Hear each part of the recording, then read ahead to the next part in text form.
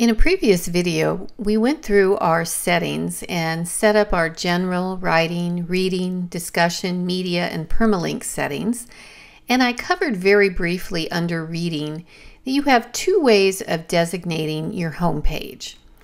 Your they actually now they've changed it. They don't call it home page so much, they call it front page. So this is the primary page that people land on when they type your URL into their um, their search bar. So the currently we're set up with your latest posts. And once again, if you are strictly a blogger or updating your content on a frequent basis, you may want it to show your latest posts. This simply means every time we publish a new post, our homepage is dynamically going to update with the most recent one at the top and push the other um, individual posts further down. So, once again, as a blogger, and if you're blogging on a regular basis, perhaps that's the way you want your site set up. The other option is to create a static page. And if I click on this link, it's going to give us this explanation and where it's actually going to show us what our pages are here. So a static page is, is exactly that. It's going to be a page where there is um, content in predefined sections um, that are not going to necessarily update dynamically. So I'm going to um, go back to our settings and get back to reading so I can show you this. Um, so what would happen then if we chose this option? We would select what page we want to be our front page. And we would then select what page we would want to feature our posts. So this would be our blog. So let me give you a perfect example. So I've popped on over to deannafenton.com and this is what I would define as a static page. I don't have my blog post showing. Um, so this does not change dynamically every time I publish a new blog post. Now my blog is over here on the menu and this does change dynamically. So every time I publish a new post, it appears here at the top and all the other posts drop down um, in reverse chronological order. So in this situation, I designated a page that would be my front page or home page and defined it as a static page. And I made my post page a page called blog kind of a little kind of confusing, but not really, right? So let's go back to our website and we're going to go ahead and create a static home, uh, static front page and a post page. Okay, so here we are back at our reading settings.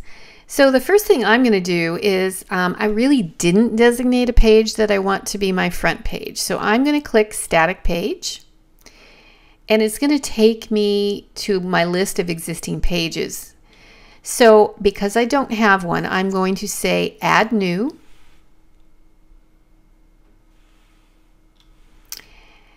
And this new page is going to be named home. Pretty simple, huh? And I'm going to publish it. Um, and that's all we're going to do right now. We're going to really, of course, make some changes to this uh, and lay it out the way that we want it. But for right now, all we care about is that we have a page called home. By the same token, I'm going to click Add New, and we're going to create a, a page called Blog.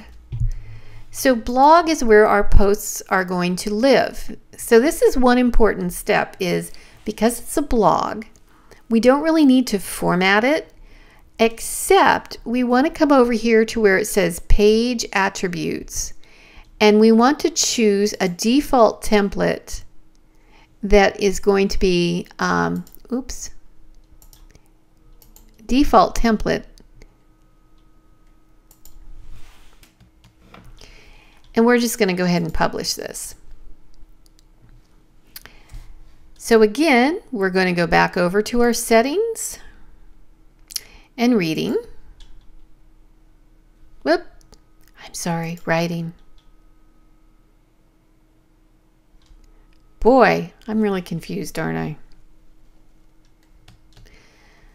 So we're going to come back over here to settings in our reading. So now we're going to say we want a static page and our front page is going to be the home page and our post page is going to be blog. And then we're going to click Save Changes. So what is that going to do? Well, let's go and look at our site and let's refresh the screen. Well, it pretty much wiped everything out, didn't it? So now we just simply have a page called Home that no longer has any of that formatting. And we also have a page called Blog, and the only thing on it right there are those two blog posts. Now, I haven't even created a menu yet, so the only way we can see the blog page is we're going to go back to our dashboard, go look at our pages, find blog, and you can see right here it's telling us that's our post page. I'm going to click view. And there it is. So so again, it kind of looks like the old homepage, right? You know, but this is where all the posts are going, going to live, and it's going to be a separate menu item for this particular website. So once again, what we did is we had the option of making all our current or our most recent posts um, the content for our homepage, or we have the option of designating a page with static content as our front page and then a page where all our posts are going to live, which is going to be our blog. And that's how we initially now have set up this particular site. So again, the other option, if I go back over here, is to go back to your latest posts. And you'll see if I save those changes and we go back to our and refresh to our home page, it's back the way it was. So, depending again, if you're focused on blogging or if you're focused on um, a, a straightforward website, you have the option of doing them either way.